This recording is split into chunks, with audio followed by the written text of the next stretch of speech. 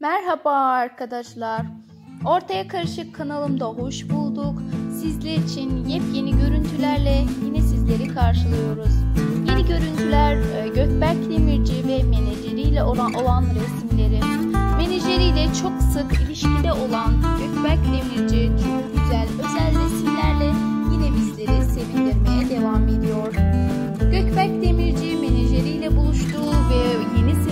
hazırlıklar tam hızla devam ediyor. Ve menajeri çok güzel yerlere geleceğinden eminim diyor ve e, Gökberk Demirci'nin çok güzel kamera çekimlerini yapıyor. Yepyeni görüntüsüyle bizleri yeni sezonda karşılayacak.